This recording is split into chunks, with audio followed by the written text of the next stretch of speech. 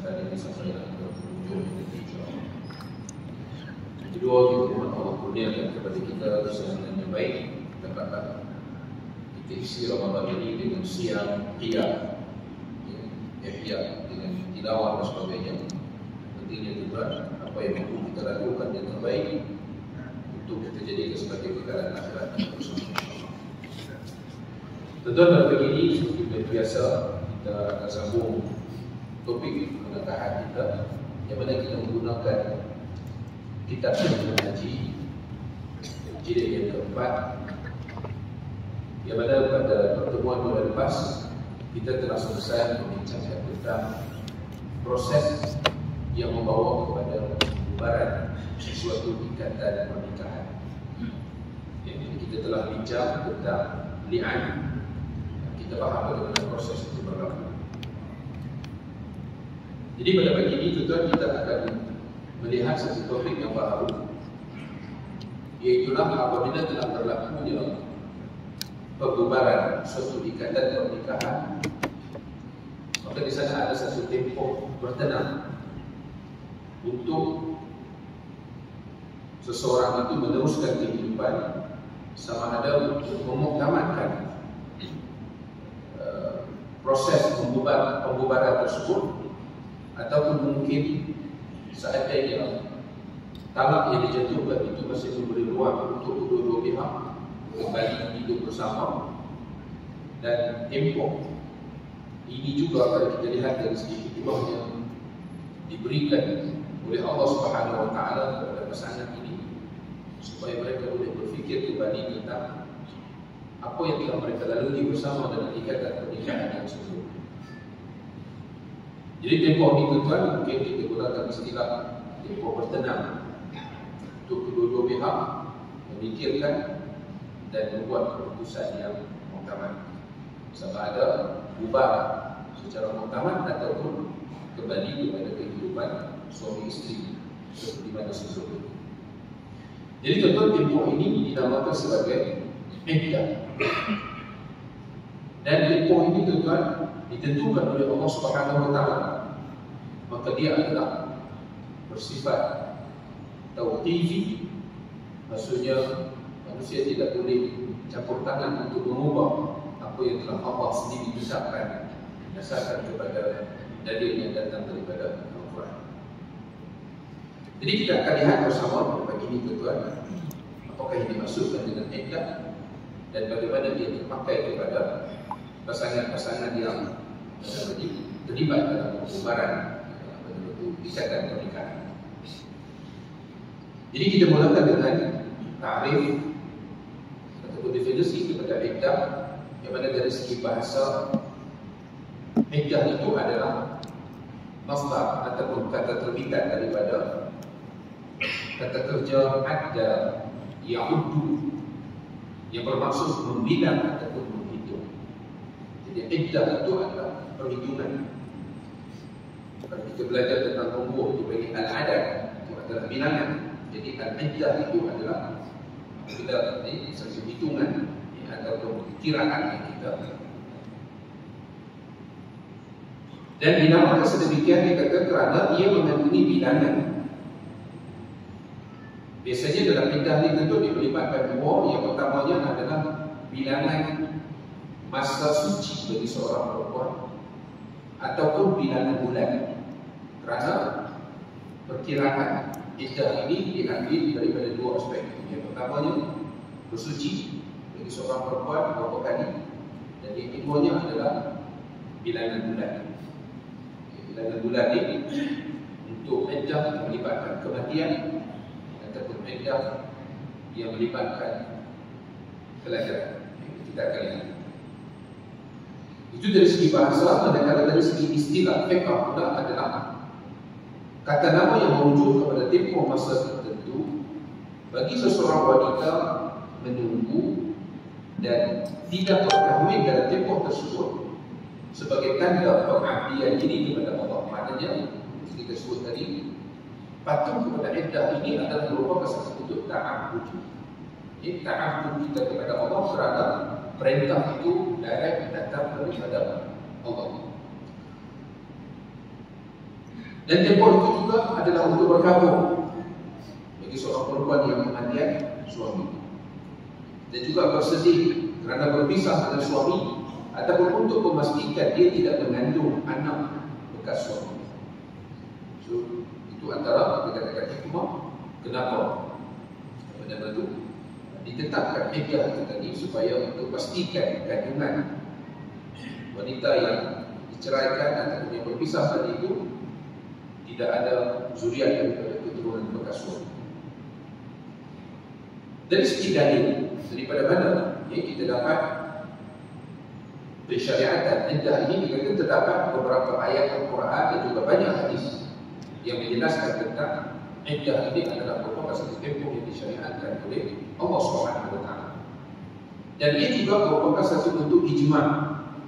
Kerana ulama bersepakat mengatakan iddah itu adalah merupakan amalan yang disyariatkan. Tidak ada ya, ulama yang menafikan tentang tempoh iddah yang perlu dilalui oleh seorang perempuan apabila berpisah dengan suami.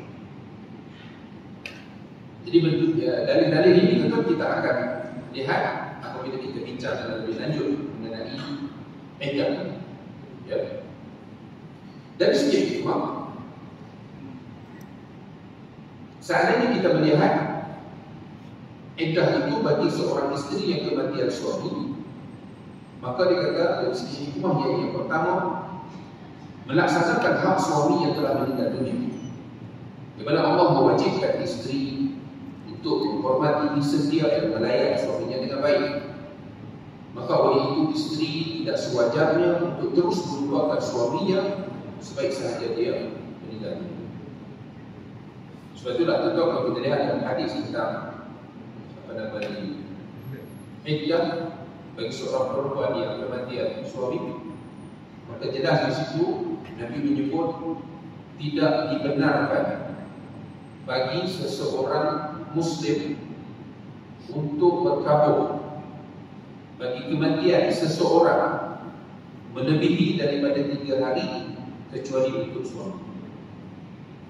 Jadi maksudnya di situ syarat memberikan keistimewaan hubungan antara suami isteri.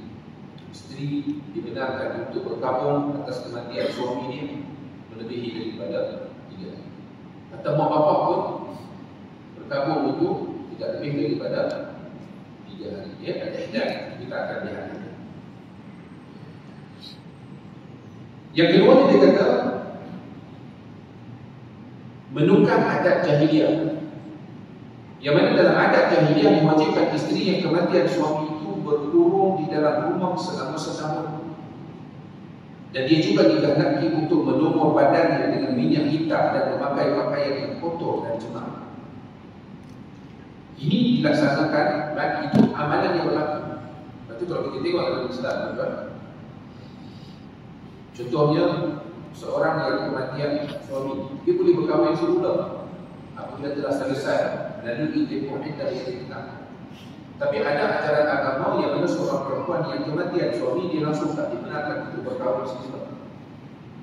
Tapi Islam, tuan masih membenarkan tapi ada tempoh bertenang yang perlu untuk dilalui oleh perempuan ini tadi sebelum dia boleh berkahwin Kalau jahiliah contohnya disebut di sini setahun baru nanti boleh berkahwin semula dan juga dalam tempoh setahun itu dia perlu berada dalam keadaan yang mengendapkan apa nama itu martabat ini.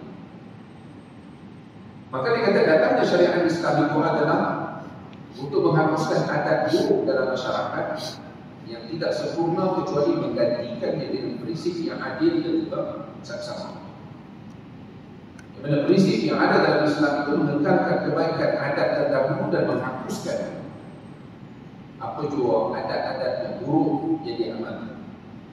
Jadi kalau kita tengok tuan, datangnya Nabi Sallallahu Alaihi Wasallam secara prinsip yang membawa Islam menghapuskan syariat ataupun amalan-amalan terdahulu yang buruk manakala yang baik yang tidak mendatangkan kemudaratan yang menjadi amalan dalam masyarakat maka masih dibenarkan sebahagian yang diteruskan ya secara apa yang dipraktiskan contohnya kalau kita lihat tentang sistem keuangan yang menggunakan dinar dan dirham sebagai mata wang. Okay, yang merupakan amalan dalam masyarakat sebelum daripada kedatangan Nabi ini.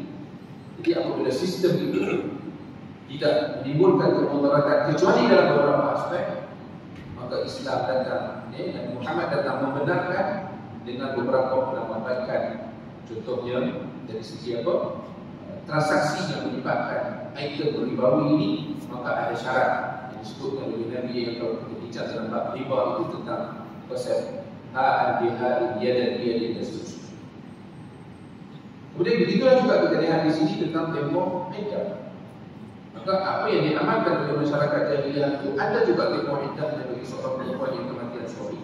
Tapi dalam keadaan yang sangat merendahkan martabat perempuan itu maka datang Islam perbaiki sistem perkenaan.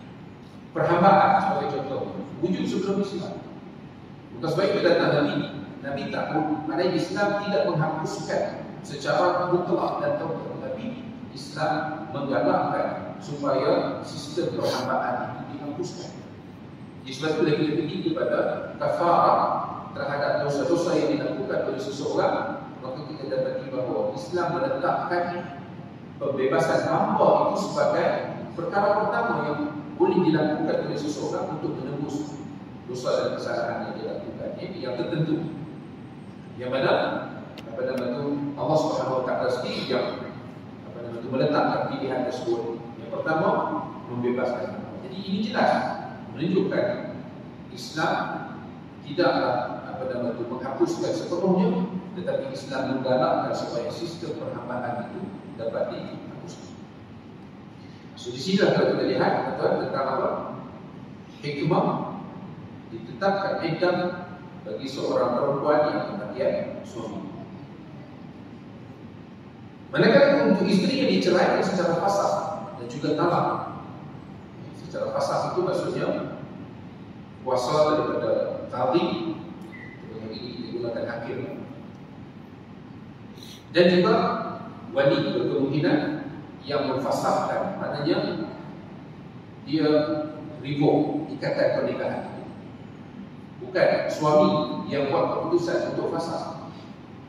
Ya sebab kuasa yang ada pada tangan suami adalah talak tapi fasah ini adalah kuasa yang ada pada qadi dan juga ada pada wali berdasarkan kepada permohonan daripada kedua-dua pihak untuk fasahkan ini dia boleh apa nama itu berlaku dengan permohonan daripada suami ataupun permohonan daripada isteri. Itu apa kita bincang sebelum. Ataupun isteri yang diceraikan secara talak, maka mereka juga perlu melalui tempoh. Jadi kita lihat secara itu hikmahnya apa? Jika isteri diceraikan ketika masih mempunyai haid, maksudnya dia bukanlah seorang kanak-kanak yang belum datang haid ataupun dia bukanlah orang tua yang telah putus haid. Ya, menopause ataupun dalam saat kita beri sindulias ya, dia telah pun apa nama itu putus haid ataupun dia sedang hamil maka kita ada tempoh ya, untuk apa nama itu perempuan ini tadi menjalani uh, tempoh itu ya, berdasarkan kepada yang kita sebut tadi tempoh bersuci beberapa kali Okey, dari segi hikmah dia kata disyariatkan adalah untuk menjaga keturunan. Menjaga keturunan. Untuk pastikan bahawa dalam tempoh itu isteri tadi tidak mengandung daripada zuriat bekas suami atau outgoing husband. Dan kemudian untuk menunaikan tanggungjawab dan memastikan dia tidak mengandung anak bekas suaminya itu sebab apa tuan? Sebab kalau dia mengandung daripada anak bekas suami, apabila anak itu dilahirkan, maka menjadi tanggungjawab bekas suami tadi untuk nafkah kepada anak ini.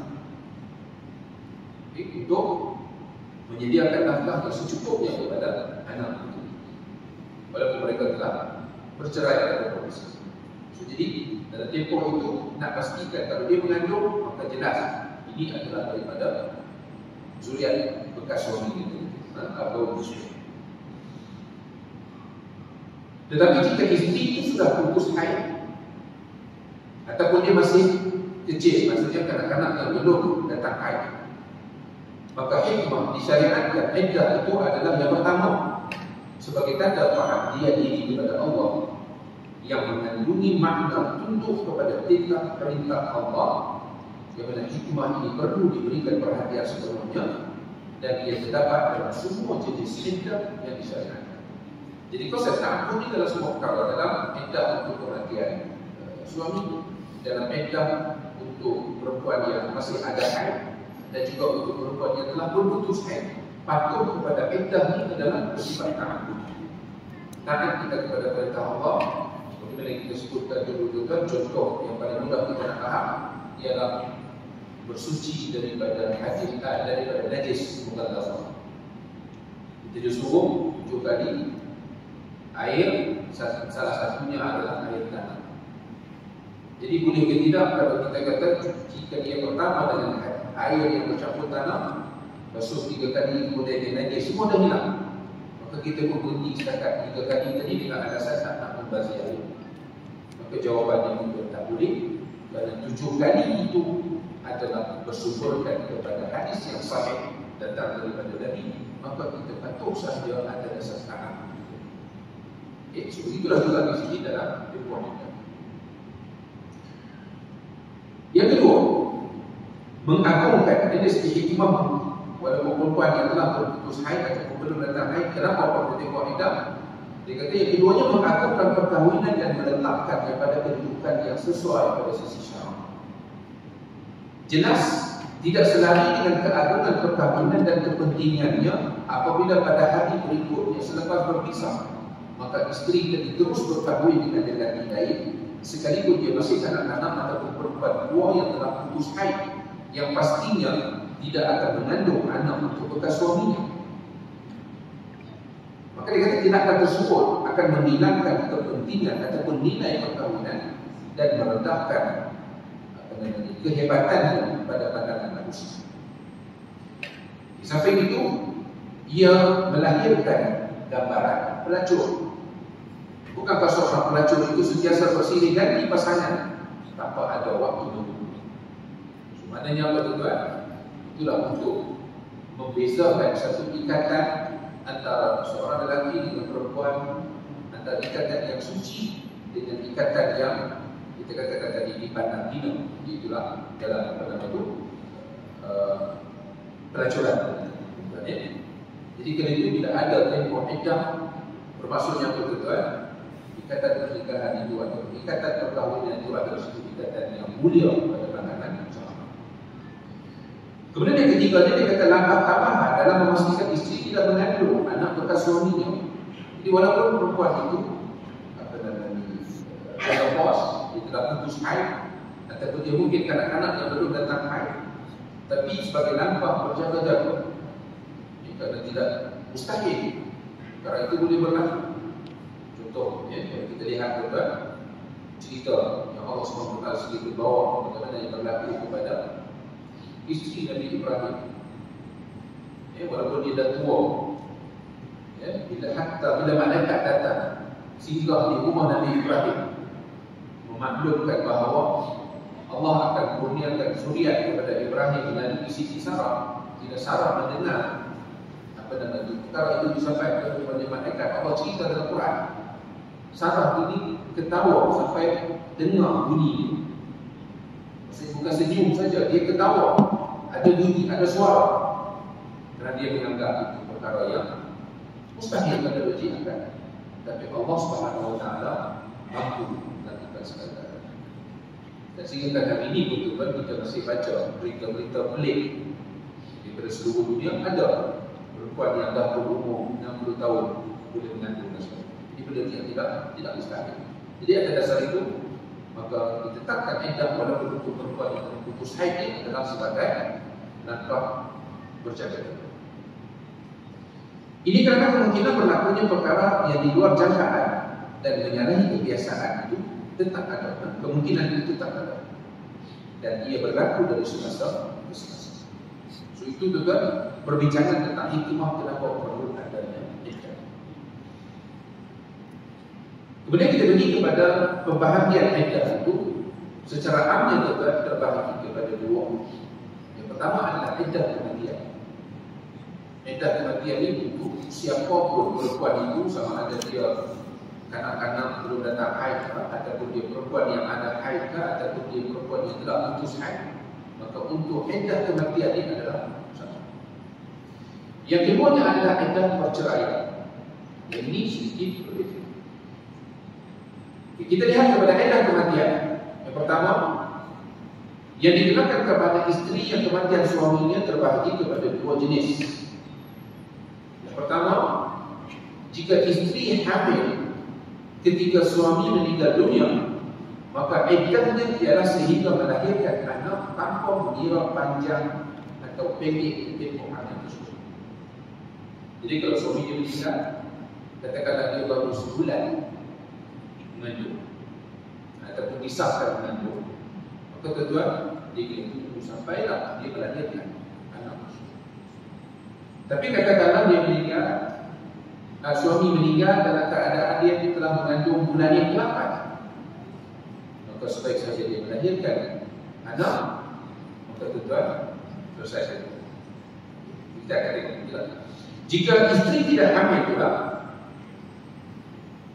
Ya, jika isteri tidak hamil ataupun hamil dengan lelaki lain dan tidak hamil dan tidak mungkin hamil dengan bekas suaminya yang meninggal dunia seperti suaminya belum balik ataupun suaminya telah meninggalkannya lebih daripada 4 tahun maka iddahnya ialah 4 bulan 10 hari sama ada dia disetubuhi oleh suaminya ataupun jadi maksudnya apa itu out of yang pertama tadi itu bahasa bulan cuma diberi peneliti lagi itu untuk kita faham situasi tapi maksudnya kalau isteri itu tidak hamil, maka tentu tempoh iddah baginya adalah 4 bulan 10 bulan. Dalilnya adalah berdasarkan kepada firman Allah dalam surah Al-Talaq ayat 4. Wa ulatul ahmali ajaluhunna an yadhna hamlahunna. Dan perempuan yang mengandung tempoh iddah mereka adalah sehingga mereka melahirkan anak yang Okay, jadi jelas ayat ini Allah sebut tempoh iddah untuk perempuan yang mengandung apabila dia melahirkan. Kemudian dalam dalil yang berikutnya pula ayat 234 daripada surah Al-Baqarah. Yang mana Allah menyatakan walladzina yatawaffawna minkum bi anfusihinna arba'ata ashhurin wa ashra. Fa idza balagna ajalahunna فلا جناح عليكم فيما فعلن في أنفسهن بالمعروف والله بما تعملون خبير dan kata Allah orang-orang yang tinggal dunia di antara kamu dan mereka yang meninggal dunia di antara kamu dan mereka meninggalkan istri-istri maksudnya bila dia meninggal dia ada istri hendaklah istri ini menahan diri mereka. Ya tarfas nabi al-fusihin itu maksudnya tahan diri maksudnya tak boleh berkahwin lagi dengan orang lain. Tempohnya apa? Arba'ata ashburin wa ashra. Empat bulan dan sepuluh. Maksudnya sepuluh bulan. Fa'idah balagna ajalahunna Dan apabila telah habis tempoh Ataupun sampai di tempoh ajal Ajalahunna Fala junaha alaikum Maka tidak menjadi kesalahan bagi kamu Mengenai apa yang dilakukan mereka Pada diri mereka menurut cara yang baik Yang yang dibenarkan oleh insyaAllah Fala junaha alaikum fi ma fa'alna fi anfusihinna bil ma'ruf. Jadi maksudnya dia bebas daripada iddah tersebut, maka dia boleh buat apa yang eh, dibenarkan oleh syarat maksudnya itu berkahwin di antara ini. Wallahu bima khabir dan Allah mengetahui mendalam apa yang kamu. Maka ayat daripada surah Al-Baqarah ini adalah satu perintah yang bersifat umum yang meliputi sama ada perempuan itu hamil dan tidak hamil. Manakala ayat 4 daripada surah Al-Talaq itu pula adalah dalil tentang iddah yang dikhususkan kepada perempuan yang hamil. Maka dia mengkhususkan umumnya dalil 4 bulan 10 hari untuk perempuan yang kematian suami itu. So maksudnya untuk perempuan yang hamil apabila dia lahirkan itu adalah taksis kepada satu dalil untuk hukum umum bagi perempuan yang kematian suami empat bulan sepuluh hari itu. Maka ayat ini menjadi dalil yang membezakan iddah perempuan kematian suami dan sedang mengandung anak bekas suaminya dengan perempuan yang kematian suami dan tidak mengandung itu beza. Ayat Al-Baqarah itu umum siapa yang kematian suami maka iddahnya 4 bulan sepuluh Tetapi datangnya dalam Al-Baqarah itu kita lihat maka dia uh, apa tu yang yang apalah apalah ayat 4 tadi itu maka dia mengkhususkan untuk perempuan yang mengandung walaupun dia kematian suami maka iddahnya adalah melahirkan anak yang dikandung so itu apa dalil daripada Quran? Bagaimana kita fahami tadi itu? Maknanya ulama juga melihat dari segi apa? Turunan turunnya ayat. Maka sebab itulah ayat yang pertama menjelaskan tentang iddah umum bagi perempuan kematian suami. Dan kemudian apabila turunnya ayat yang mengkhususkan untuk perempuan yang mengandung maka ayat itu telah pun menjadi rujukan untuk mengkhususkan ya. Maknanya kalau kematian suami tapi dia mengandung maka dengan kelahiran anak itu selesai hadisnya sebab apa tuan? Sebab kalau kita tengok antara 4 bulan 10 hari dengan 9 bulan maka itu dia. Kalau kita katakan on top of apa nama tu entah bersalin kemudian nak kena 4 bulan 10 hari jadi masa tu akan lebih tapi kalau lah sekali kita katakan tadi dia kandungan dia adalah pada bulan yang ke-8 dia, dia lahirkan maka selesai dia dia tempoh entah dia tadi itu rujuk kepada apa ayat 4 dari surah Al-Qamar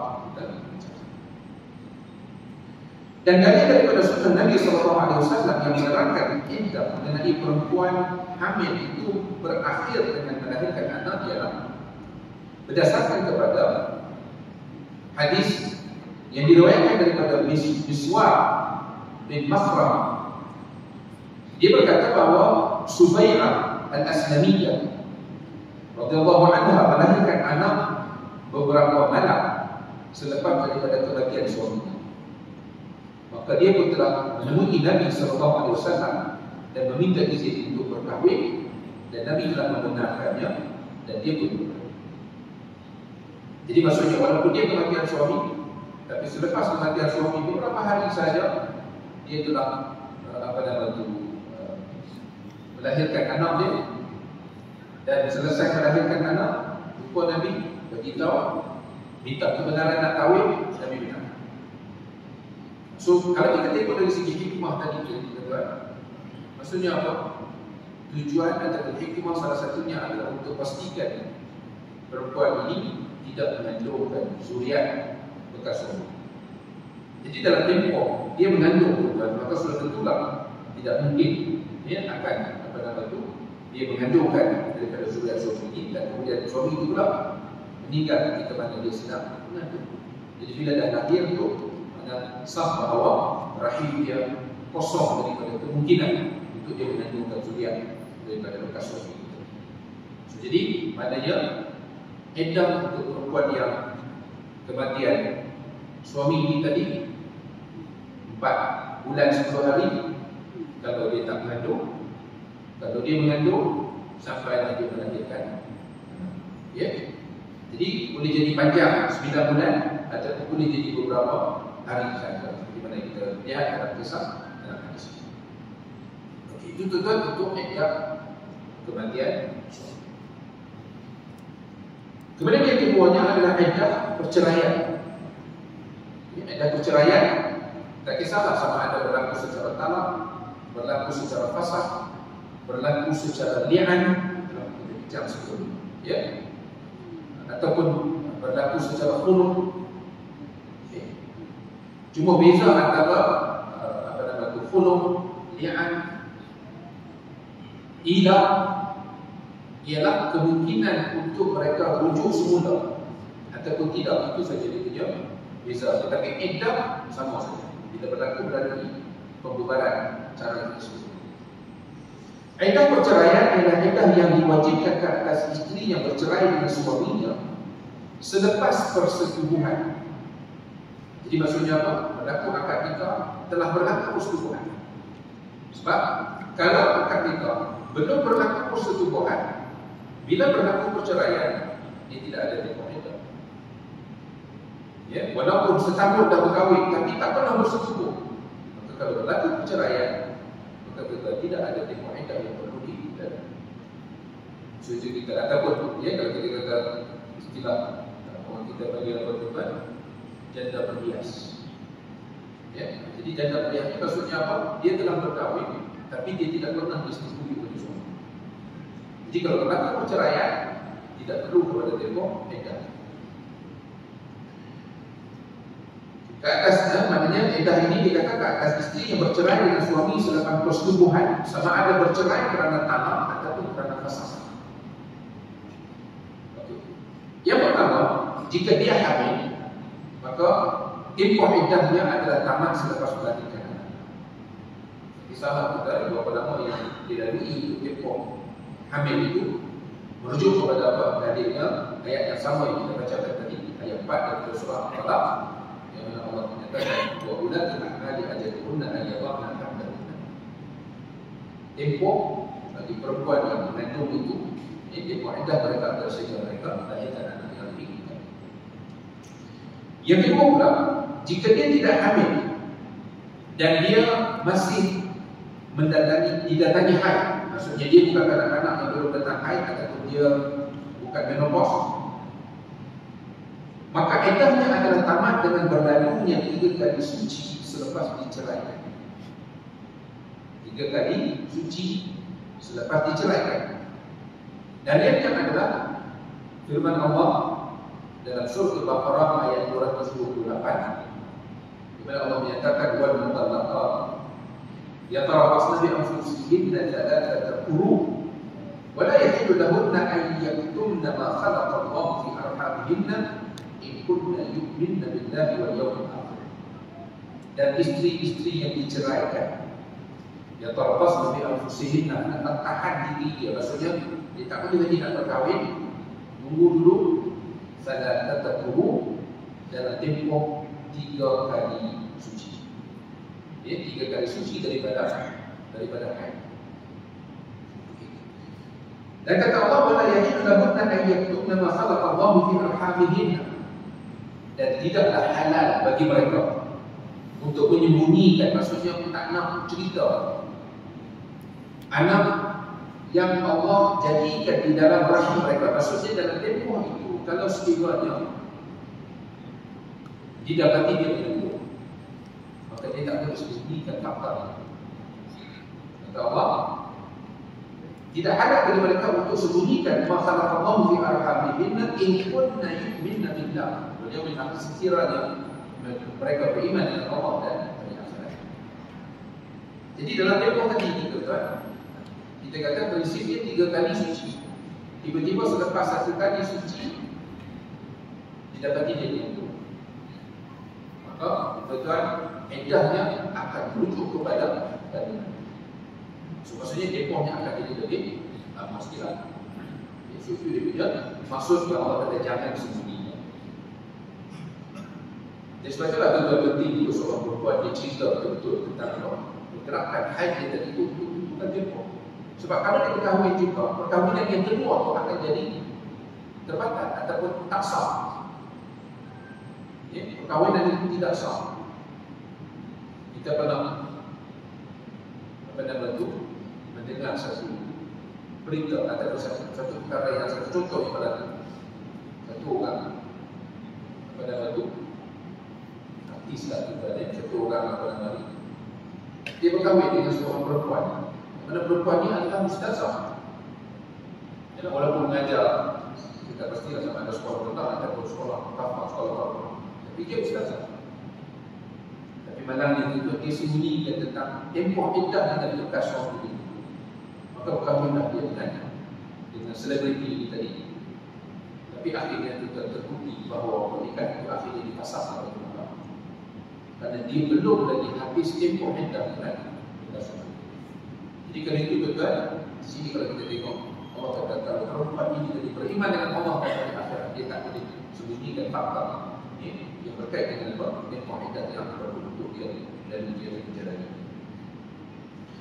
Okey, so itu tuan, mana kalau perempuan tadi tidak hamil tapi dia masih ada haid, maka dikira tiga kali suci.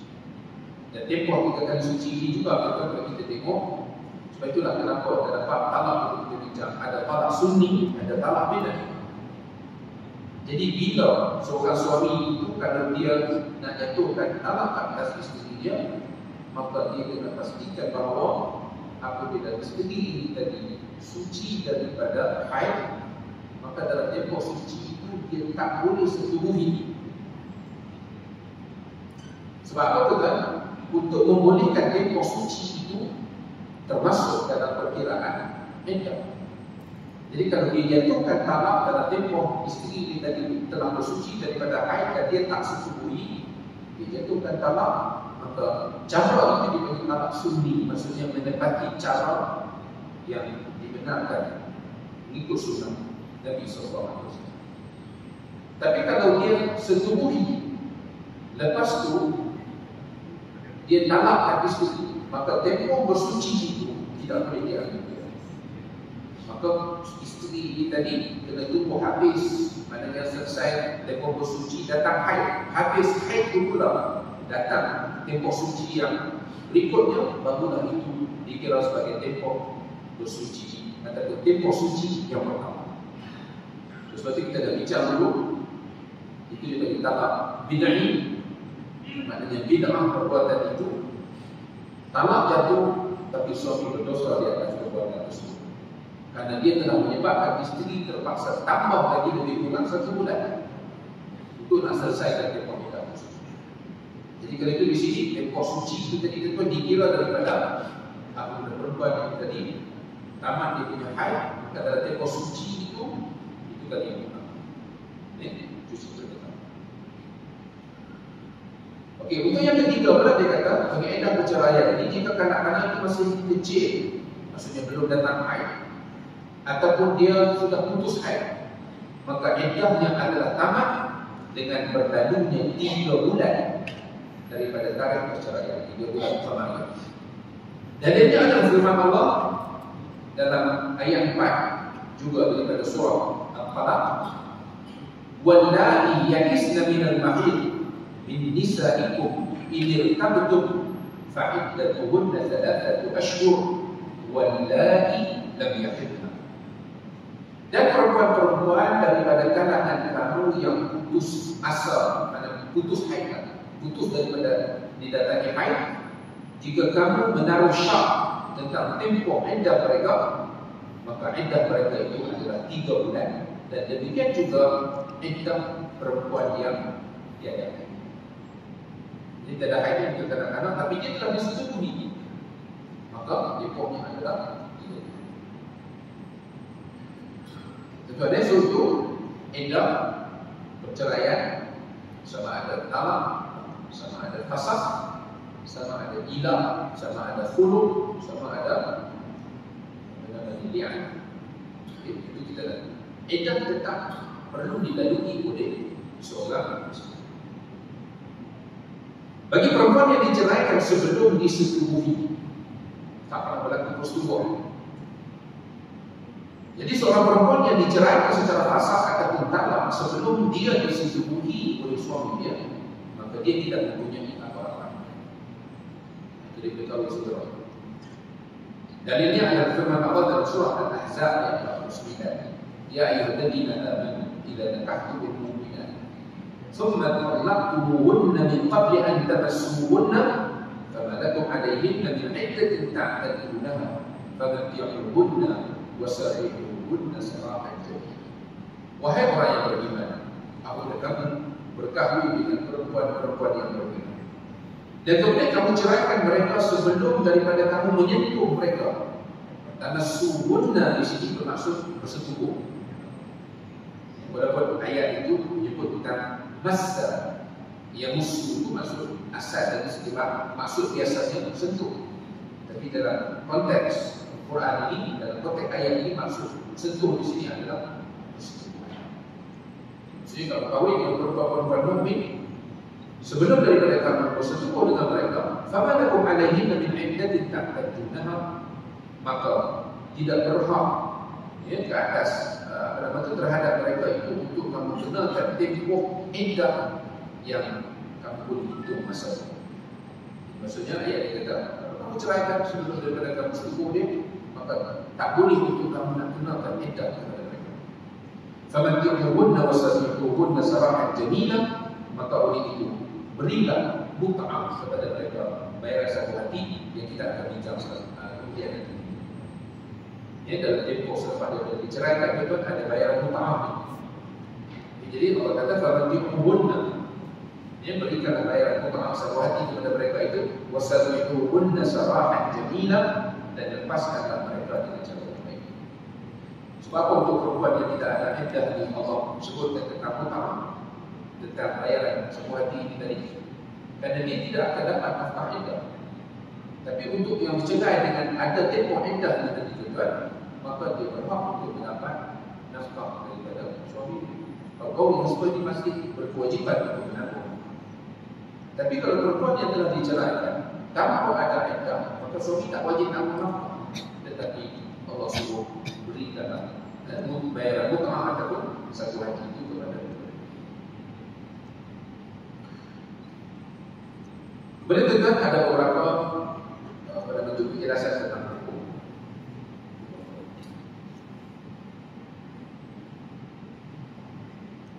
Kita sambung sikit lagi. Okey, hukum hakam mengenai iddah dan juga kewajipannya. Maka terdapat beberapa hukum dan kewajipan-kewajipan yang mesti dilaksanakan disebabkan oleh iddah. Yang pertama, Edah perceraian Iaitu edah talak tadi itu ada tiga kita sebutkan Jika edah perempuan itu adalah perceraian Adalah edah perceraian Jadilah yang mengandung Yang tidak ah, Yang ada haid Ataupun yang tidak ada haid Maka dia kata Jika perempuan itu adalah Dalam edah perceraian Sama ada talak rajai Ataupun talak batin Talak rajai ini maksudnya apa? Dalam tempoh edah itu Dia boleh rujuk tak perlu kepada akad baru. Okey. Tapi kalau talak kahwin ini maksudnya dia tak boleh rujuk. Tapi mereka kalau nak kahwin semula kena satu akad dia. Okay, yang pertama, jika edarnya itu adalah edar bagi talak rajai yang hukum yang berlaku disebabkan oleh edar tersebut yang pertama isteri wajib mendapat tempat tinggal bersama suami dan sebaiknya ialah tempat tinggalnya ketika talak dijatuhkan jika sesuai dengannya dan tidak ada halangan syar'i yang menghalangnya dan yang sempurna. Jadi tuan dia isteri yang diceraikan oleh suami tadi dalam tempoh iddah dengan talak rajai maka tuan dia wajib untuk disediakan tempat tinggal oleh pegawai tersebut. Dan sekiranya talak atau talak rajai tinggal, dia boleh tinggal bersama dengan suami yang seperti itu. So wajib tempat tempat tinggal. Dan dia kata ni sebaiknya tempat tinggal ketika berlakunya tak maksudnya rumah dia pergi kalau tak silap saya dia rumah kelamin yang dalam istilah pada bentuk kita. Yang kedua dia ialah isteri wajib mendapat semua bentuk nafkah seperti makan, pakaian dan sebagainya sama ada dia hamil ataupun tidak. Sebab nafkah itu kita perlu masuk ke kita juga. Nafkah ni ada tiga. Tempat tinggal, makan minum, pakaian. Okay. Jadi maksudnya apa? Tadi kita dah yang pertama tadi dah sebut tentang tempat tinggal. Suatu wajib kita sediakan dalam tempat sekarang ni kita kata nafkah dalam bentuk makan minum dan juga pakaian juga perlu dalam tempat tinggal. Sama ada dia hamil ataupun tidak. Ini kerana isteri masih berada di bawah kiwam. Kiwam ini maksudnya betul penguasaan ataupun pengawalan suami. Dan mereka boleh rujuk selagi mana berada dalam tempoh indah tersebut. Jadi hak kiwam ini tuan untuk seorang isteri dalam tempoh indah talak rajai dan boleh rujuk dia wajib dapat tempat tinggal, wajib dapat pakaian dan wajib dapat makan minum Dan kiwamah itu maksudnya betul Kalau dia nak keluar rumah pun Dia kena Dia kena bini Tetap kena minta izin daripada apa itu So itu konsep yang mudah Jadi kan faham tentang izin Suami wajib tanggung dia Ya, apa kita semua masih wajib tanggung dia Maka Kiwamah itu juga masih berada Dua rumah pun minta izin dan sebagainya. Dan dalam tempoh itu juga tuan Bila suami wajib tanggung semua Maka rujuk boleh berlaku dalam tempoh Yang ketiga pula dia kata isteri wajib berada di rumahnya Dan tidak boleh meninggalkan rumah tersebut Melainkan kerana Darurah Kerana keadaan yang terpaksa Dalil tentang ketiga-tiga perkara ini adalah berdasarkan kepada firman Allah dalam surah Al-Talaq ayat 6 Asjiduhunna min haythu sakantum min wujdikum. Wa la tudaruhunna litudayyiqu alayhim. Wa in kunna ulatu hamlin fa anfiqu alayhinna hatta yadhana hamlahunna Kata Allah tempatkanlah isteri-isteri maksudnya isteri yang sedang menjalani tempoh iddah itu min haythu sakantum di mana tempat kediaman kamu min wujudikum sesuai dengan kemampuan. Maksudnya Allah tujukan khitab ini kepada suami yang menceraikan isteri dia yang mana isteri ini dalam tempoh iddah yang rajai ini tadi Allah kata tempatkan mereka min haythu sakantum di mana kamu tinggal. Wujudikum dengan kemampuan. Sebab itulah kita kata tadi sebaiknya tempat di mana suami tinggal tempat di mana suami tadi menceraikan kepada betul isteri wala tabarruhunna litubayyituna litubayyitu alayhinna dan janganlah kamu memubarakkan mereka di tempat tinggal tersebut dengan tujuan kamu hendak menyusahkan kedudukan mereka. Maksudnya buat sesuatu dengan tujuan nak menghalau isi baju dalam beg balik keluar buat tindakan-tindakan yang apa nama tu memalukan supaya isteri kita dimadu dengan jiran maka dia memberikan tekanan emosi ini keluar dari rumah Nabi. Maka ini adalah larangan daripada Allah. La tubarak la wala la tubaruhunna jangan kamu memubarakkan mereka maksudnya buat tindakan fizikal dan sebagainya. Ditubayyimu alaihi untuk kamu maksudnya menghalau mereka ya, wa in kunna ulati hamlin tapi seandainya isteri itu mengandung fa afimu alaihinna maka hendaklah kamu memberikan nafkah kepada mereka hatta yawah lahunna sehingga mereka melahirkan anaknya di jadi maksudnya kalau iddah itu adalah tempoh mengandung. Maka dalam sepanjang tempoh itu suami wajib itu menunaikan ketiga-tiga langkah kita La tukhrijuhunna min buyutihinna. Ayat 1 daripada surah Al-Falaq, la tukhrijuhunna min buyutihinna wa la yakhrujna illa an ya'tina bi fahishatin mubayyinah. Dan janganlah kamu mengeluarkan mereka, maksudnya menghalau mereka daripada rumah-rumah tempat di mana mereka tinggal bersama dengan kamu itu sehingga selesai iddah mereka dan janganlah pula dibenarkan mereka keluar daripada situ kecuali jika mereka melakukan perbuatan keji yang jelas ya dalam ayat dua ayat yang kita baca tadi tentang apa nama itu seorang isteri dalam tempoh iddah dan kalau rajin ini kita akan ada di rumah lagi. Dan kemudian yang keempatnya pun ada segi hukum untuk perempuan yang dalam iddah perceraian. Isteri diharapkan untuk dedahkan diri kepada pinangan lelaki lain kerana dia masih lagi di bawah kawalan suaminya. Dan suaminya lebih berhak terhadapnya daripada lelaki lain Allah menyebut dalam ayat 228 surah Al-Baqarah kata Allah wa bu'ulatuhunna ahqqu bi rabbihinna fi dzalika in aradu islaha dan suami-suami mereka lebih berhak untuk merujuk mereka kembali dalam tempoh iddah itu jika suami bertujuan untuk melakukan perbaikan Islam menenang anak Sesuai dalam dalam tempoh suami yang berhak atas isteri dari segi hukum kita, undang-undang dia dari segi prosedur yang berbeza. Tapi dari segi hukum kita, hak mutlak untuk merujuk adalah dalam tangan suami. Nanti kita kata tadi, kenapa dari tempoh kita itu syarat memberatkan tanggungjawab suami? dia perlu tunaikan kewajipan dia terhadap outgoing wife tadi. Jadi kalau itu dalam ayat ini Allah menegaskan tentang wa mawlatuhunna dan ya maknanya outgoing seperti tadi ahakku lebih berhak biradihinna untuk mengembalikan mereka untuk merujuk.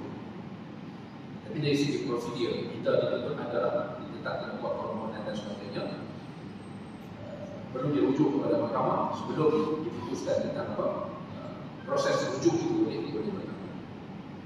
Dan mahkamah pun akan ambil itu lebih aman. Tapi dari segi hukum juga suami lebih berhak ya, untuk mana kata dia kata maknanya kalau berlaku contohnya suami kata okey lah kita rujuk kembali. Jadi itu rujuk itu tidak perlu kepada persetujuan tersebut. Ya, dari segi hukum ya, Okey, kemudian yang kedua, itu tadi tempoh talak iddah bagi perempuan dalam talak kerja. Maknanya talak satu ataupun talak dua. Jika isteri dalam tempoh iddah bagi talak balik, balik ini maksudnya dia tak dirujuk. Kalau nak kalau dibenarkan untuk kahwin semula pun dia kena akad baru. Dia kena mahar yang baru. Maka hukumnya adalah bergantung sama ada talak itu berlaku ketika hamil atau Yang pertama jika isteri hamil, maka hukumnya adalah. Ikut yang pertama, suami mesti sediakan tempat tinggal itu. Okay. Sebab talak bagi ini juga dia tak berusul lah, jadi kerana itulah kewajipan nafkah isteri itu. Dia hanya wajib sediakan tempat tinggal kalau isteri ini mengandung. Ini berdasarkan kepada firman Allah dalam surah Al-Talaq ayat 1. Ya ayuhan Nabi, Idza ba'atum nisa فطلقوهن لعدتهن وأحصوا العدة واتقوا الله ربكم ولا لا تخرجوهن من بيوتهن ولا يخرجن illa ya'tina bi fahishatin mubayyinah. Wahai Nabi, ayat ini khitab kepada Nabi dan hukum terpakai itu sesuatu. Apabila kamu hendak menceraikan isteri-isteri kamu, maka ceraikanlah mereka pada masa mereka dapat memulakan iddah. Ini kita bicara tadi yang dan sebelum ini pun dan itulah dari segi talak kalau nak dijatuhkan itu ini di yang tidak menyusahkan isteri untuk menggunakan iddah. Fakal yatuhun dan ya'iddatihinna wa aksul iddah pada masa yang mana mereka dapat memulakan iddah mereka dan hitunglah masa iddah itu betul wattaqullaha rabbakum dan bertakwalah kepada Allah. La tukhrijuhunna min buyutihinna. Dan janganlah kamu mengeluarkan mereka dari rumah-rumah yang di tempat kediaman mereka itu sehingga selesai. Wala yakhrujna dan mereka juga tidak dibenarkan untuk keluar dari rumah tersebut illa ayatina bi fahishatin mubayyinah kecuali mereka melakukan perbuatan keji yang jelas. Ayat ini dari segi kandungannya umum merangkumi perempuan yang diceraikan dengan talak rajai dan juga talak balik. Tentang apa? Sediakan tempat tinggal. Jadi maksudnya nafkah tempat tinggal itu disediakan untuk semua. Tapi kalau untuk yang malam apa nama itu bagi tadi kalau perempuan mengandung bagi wajib Wa in kunna ulati hamlin fa anfiqu alayhinna hatta yadhna hamlahunna. Talak ayat 6 Allah nyatakan dan seandainya mereka itu sedang hamil maka berikan nafkah kepada mereka sehingga mereka melahirkan jadi maksudnya walaupun dia dah tak boleh rujuk lah dia bukan lagi di bawah tanggungjawab suami dan sebabkan dia mengandung surian daripada bekas suami ini tadi maka suami kita sediakan tempat tinggal suami kita berikan nafkah kita sebut tadi tentang apa maka minum dan juga dan istri mesti berada di rumah. Tempat yang menghabiskan iddah itu maksudnya sampai dia tadi kalah. Dia tidak boleh keluar melainkan kerana sesuatu keperluan. Contohnya dia kata mencari makanan atau kerana mata pencarian adalah dengan bekerja di luar rumah. Ya, seperti berniaga dan sebagainya ataupun uh, tidak ada orang lain yang boleh menggantikan tempatnya ataupun dia bekerja dan pekerjaan itu menghalang daripada tinggal di rumah semasa tempoh yang dan dia juga tidak diharapkan keluar rumah untuk menghilangkan rasa bosan dengan menjalani jiran dan juga saudara. Dalilnya yang katakan boleh keluar rumah tadi itu apalah ayat satu la tukhrijuhun min buyutihin wa la yakhrujun jangan akan keluar dan keluarkan mereka dari rumah-rumah tempat kediaman mereka. Sehingga selesai iddah dan jangan akan mereka dan dalil dibolehkan ya apa nama itu dan ini kita kata tadi tanpa tujuan yang dibenarkan tak boleh keluar berdasarkan pada ayat ini. Dan dalil dibolehkan keluar rumah kerana satu keperluan adalah hadis yang diriwayatkan daripada Jabir radhiyallahu anhu katanya ibu saudara saudara ibu saya telah diceraikan dan kemudian dia mahu memetik buah kurma tetapi seorang lelaki telah menghalangnya daripada keluar. Maka dia pun datang bertanya kepada Nabi wasallam dan dia bersabda ya keluarlah dan petiklah buah kurma kamu. Mudah-mudahan kamu akan bersedekah agar kamu buat kebaikan jadi sebab apa tadi? Kita tak ada orang yang boleh petik buah kurma dia. Maka dan benarkan antara satu korban tapi dia tidaklah apa nama itu sama seperti mana larangan untuk berbuat di dalam ayat jadi boleh keluar apa nama itu kata dalam sebab kematian ni kita akan tengok selepas ini baru sahaja. Tapi untuk berbuat talak baik maksudnya bukan projek. Maka dia boleh keluar dari itu antara satu keperluan asasi dia untuk dia makan. Sebab apa tuan kita katakan tadi suami tidak boleh nafkah daripada waktu itu kecuali kalau dia mengandung saja. Jadi kerana itu dia boleh dibenarkan keluar untuk bekerja dan sebagainya. Dan jika isteri tidak hamil, maka hukumnya adalah seperti dalam keadaan yang sebelum ini kecuali nafkah dalam segala bentuk. Dia tidak berhak untuk mendapat wang perbelanjaan, pakaian dan sebagainya. Walau bagaimanapun, dia masih wajib mendapat tempat tinggal dan dia wajib tinggal di situ dalilnya adalah peristiwa yang berlaku kepada Fatimah binti Qais radhiyallahu anha ketika dia diceraikan oleh suaminya dengan talak baik dan Nabi bersabda kepada suami dia kamu tidak punya hak nafkah kecuali jika kamu hamil sudah jelas dalam hadis ini Nabi mengatakan kepada Fatimah binti Qais tadi selepas dia diceraikan secara talak baik maksudnya uh, maksudnya tak boleh lagi nak tujuh pada waktu itu kata Nabi kamu tidak boleh hak nafkah kecuali So tuan itu dia punya sedikit perbezaan dari segi jenis talak kita kita kita itu. Seterusnya dengan kita kematian yang kita kita tangguh berdepan kita kita berbahaya kita kita raya sebulan. Di raya sebulan. Kita semua sebab kita nak endap bagi perempuan yang kematian sebab kita kematian suami kita tuan. Dia sedikit kalau nak dibandingkan kedua rumah tu dia agak jelas dari segi larangan betul kalau pun kata kalau keluar bekerja betul ada silap. Tapi di setengah-setengah negara di Tengah dia ada cuti kerana edak kematian ya? Di negara contoh macam di Kuwait juga. Dia ada undang-undang perempuan yang kematian suami dia bekerja dia boleh cuti khusus.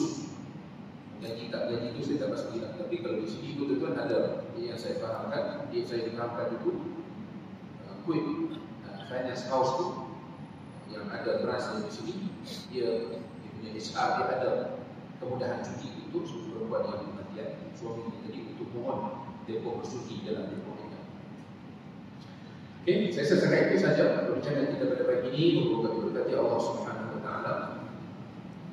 Yang akan datang kita sambung dan kematian ini dan juga sedikit lagi itu hukum atau isu-isu yang berkaitan dengan tempoh mental yang perlu dilalui oleh uh, perempuan yang diceraikan oleh suami. Allah Alam untuk beberapa soalan silakan. Assalamualaikum Ustaz. Waalaikumsalam. Uh, untuk tempoh kita